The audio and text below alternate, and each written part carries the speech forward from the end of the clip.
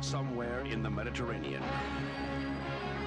On this naval aircraft carrier, these men have been selected to write a page in military history.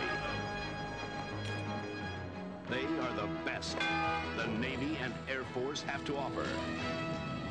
They've been brought together to form an elite squad of fighter pilots. Their mission, one of national security and international concern.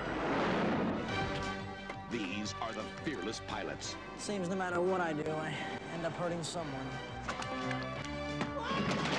The men who command them. Pudding. No, thank you, sir. I'll do my best. And the women who love them. Charlie Sheen.